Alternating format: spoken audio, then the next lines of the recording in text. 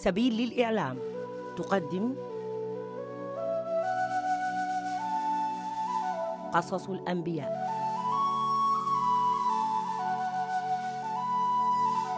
بالعامية السودانية. رسالة لوقا إلى ثيوفيل. الحلقة التاسعة. ازيك يا خالتي صفية أهلا حبابكم مرحبا بكم. الحمد لله. اتفضلوا. اتفضلوا. اتفضلوا اتفضلوا. الله يخليكم. جيناكي وبشوق شديد لقصة جميلة من قصصك إن شاء الله. إن شاء الله. يلا أنا دايرة أوريك إنه نحن متذكرين يا خالتي صفيه كلامك اللي قلت لنا. مهم.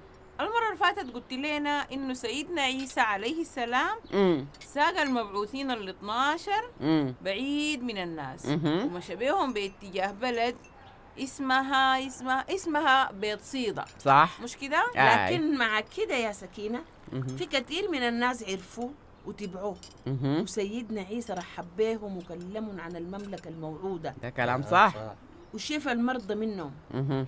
وعدد الناس كان بيزيد لدرجة إنه قبل المغرب مم. كان عدد الرجال خمسة ألف بالإضافة للنسوان والأطفال ده كلام صح كلام صح عشان كده حيران ال 12 قالوا له يا سيدنا خلي الناس المتلمين ديل يمشوا للحلال والمزارع القريبة عشان يلقوا لهم شي ياكلوه ويبيتوا هناك لأننا نحن هنا في مكان مقطوع يا سيدنا. يا أحبة أنتوا المفروض تدوهم شي ياكلوا؟ لكن يا سيدنا نحن ما عندنا أكتر من من خمسة رغايف وسمكتين بس وديل بالتأكيد ما حيكفوا العدد الكبير ده وما في طريق إلا نمشي عشان نشتري لهم أكل. طيب يا أحبة قعدوهم في مجموعات. كل مجموعة يكون فيها حوالي خمسين نفر. أها. ولما الحيران قعدوا الناس ديل سيدنا عيسى عليه السلام أخذ الخمس رغيفات والسمكتين ورفع راسه وشكر الله.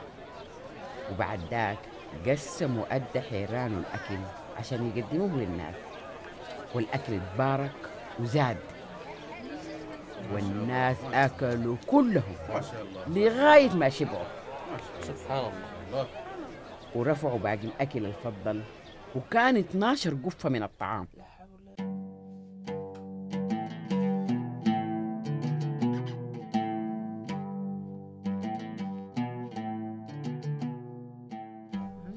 وفي مرة سيدنا عيسى انعزل عن حيرانه لفترة عشان يتعبد براهو ولما خلص من تعبده ده رجع لحيرانه وسألهم وقال لهم يا أحبة في رأي الناس أنا منو؟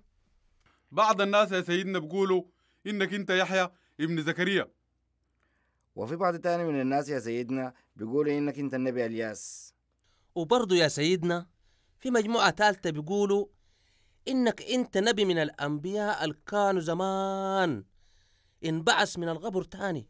وطيب في رأيكم أنتوا يا أحبة أنا منو؟ وبطرس جاوبه وقال يا سيدنا أنت المسيح المتوج على العرش من عند الله. وبعد بطرس ما قال الكلام ده سيدنا عيسى عليه السلام حذر حيرانه بشدة وقال لهم يا أحبة. أيوة. وما تقولوا الكلام ده لأي زول. وكمان لازم تعرفوا إنه المسيح سيد البشر مكتوب عليه إنه يقاس الكثير من الآلام في الأول. وحيرفضوا كبار المسؤولين وكبار المتشفعين والفقهاء وحيموت مقتول. والله حيبعثوا من الموت في اليوم الثالث. وبعد ما خلص كلامه مع حيرانه دعا الناس التانيين عشان ينضموا لهم وقال للجميع اسمعوا يا ناس العاوز يتبعني بحق ويكون من الفائزين لازم يتنازل عن رغباته وحقوقه. ويكون مستعد للتضحية بنفسه عشان دائما لأنه اللي بيجري ورا حياة مريحة وآمنة في النهاية حيخسر حياته كلها. أما اللي بيضحي بحياته في سبيله في النهاية حينجح. طيب تفتكروا إنه الإنسان حيستفيد شنو لو كسب الدنيا كلها ولكن في المقابل هلك؟ وكمان أقول لكم كل زول يتبرى مني ومن كلامي سيد البشر برضه حيتبرى منه في يوم الحساب. لما يجي في جلاله وجلال المولى والملائكة الطاهرين وأقول لكم الحق بعض الموجودين هنا ما حيموتوا قبل ما يشوفوا عظمة المملكة موجودة.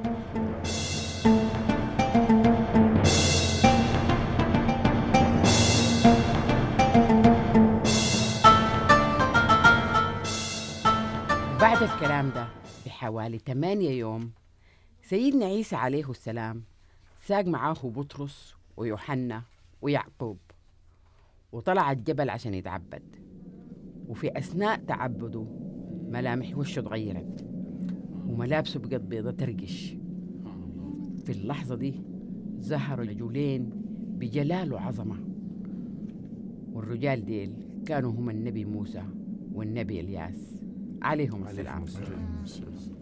وبدوا يتكلموا مع سيدنا عيسى عن مشيئة الله حتتم في وقت قريب في القدس. وبطرس وأصحابه الاثنين ناموا وغرقوا في النوم.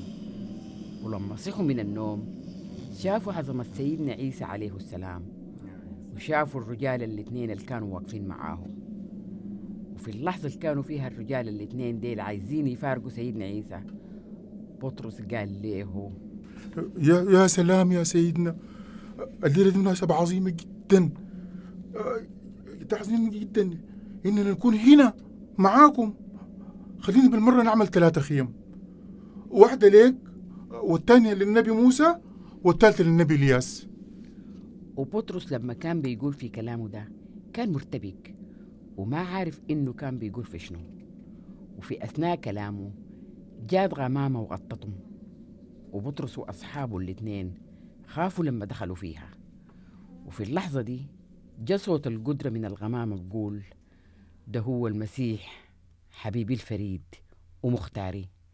اسمعوه وطيعوه وبعد ذاك بطرس وأصحابه الاثنين لقوا سيدنا عيسى عليه السلام واقف براه وسكتوا وما قالوا أي حاجة عن شافوه لأي زول في الوقت داك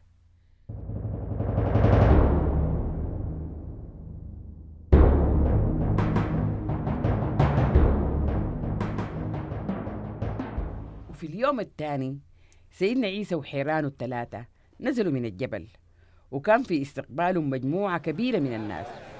وواحد من الناس دي الكورك وقال لسيدنا عيسى عليه السلام يا سيدنا يا سيدنا أنا بترجاك. ولدي الوحيد متلبساه وروح شيطان. بتعمل له الصرعه وتخليه يكورك.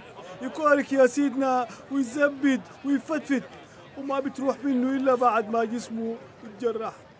وأنا ترجيت حيرانك عشان يطردوا منه روح الشيطان دي لكن حيرانك ما قدروا. يا شعب بني يعقوب يا ضالين لغاية 200 أنتوا حتنصرفوا عن الإيمان؟ ولغاية 200 أنا حكون معاكم وأتحمل عدم إيمانكم ده؟ طيب دلوقتي جيب لي ولدك ده هنا. ولما الولد قرب لسيدنا عيسى الشيطان رماه في الأرض لغاية ما بقى يفتفت لكن سيدنا عيسى عليه السلام طرد الشيطان وشفى الولد ورجعوا لأبوه وكل الحاضرين اتعجبوا من قدرة الله. في الوقت ده سيدنا عيسى قال لحيرانه على الانفراد يا أحبة انتبهوا لكلامي ده كويس. أنا بذكركم إنه سيد البشر حيتسلم لأعدائه. لكن حيرانه ما فهموا الكلام ده لأنه الله أراد إنه المعنى يكون غامض عليهم. عشان كده لاوزوا وما قدروا يسألوا عن معنى الكلام. وبعد ذاك حصل نقاش بين حيرانه. ياتو واحد فيهم حيكون أعظم من التانيين في المملكة الموعودة. وسيدنا عيسى علم بالفي قلوبهم ومسك ليه الطفل ووقفوا جنبه وقال لهم اللي بيتواضع ويعز الطفل ده إكراما لاسمي معناه بيعزني. واللي بيعزني بيعز الله اللي رسلني وفي الحالة دي أكتر واحد متواضع فيكم هو أعظم واحد. ويوحنا قال له يا سيدنا شفنا واحد بقوة اسمك بيطرد الشياطين المتلبس الناس وحاولنا نمنعه لأنه ما من حيرانك. لا لا يا أحبة ما تمنعوه لأنه ما ضدكم هو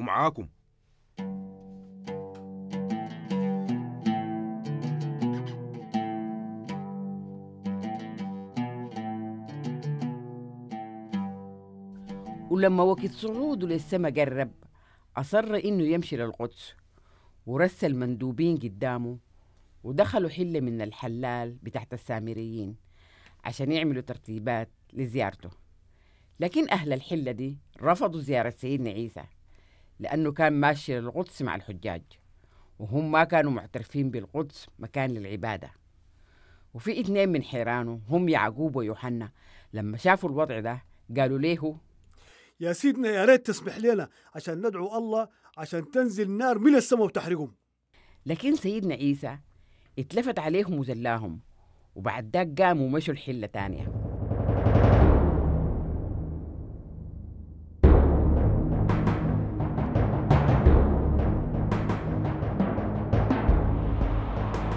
وفي أثناء ما هم ماشيين في الطريق في زول قال لسيدنا عيسى يا سيدنا أنا مستعد أتبعك. وأمشي معاك لأي مكان تمشي له. لكن سيدنا عيسى عليه السلام رد عليه وقال له لازم في الأول تعرف إنه الثعلب له جحر والطيور لها عشوش لكن سيد البشر ما عنده محل يخط فيه رأسه. وبعد ذاك قال لي واحد تاني أتبعني. والراجل ده رد وقال لسيدنا عيسى يا سيدي أنا أبوي بقى راجل كبير فخليني أرعاه لغاية ما يموت وأدفنه. وبعد ذاك أجي أتبعك وسيدنا عيسى قال له لكن أنت لازم تعرف إنه دورك أهم من دفن الأموات بكثير. والأهم هو إنك تمشي وتعلن البشارة بالمملكة الموعودة. واحد ثالث برضه قال لسيدنا عيسى عليه السلام. يا سيدي أنا مستعد أتبعك وأكون معاك لكن خليني في الأول أمشي وأودع أهلي. خليني أقول لك اللي بيؤمن ويتردد ما حيصلح للمملكة الموعودة طيب يا جماعة الليلة خلونا نجيب هنا وفي المرة الجاية بإذن الله نواصل. الله يخليكم. الله يبارك فيكم. الله يخليكم. تحية زروق.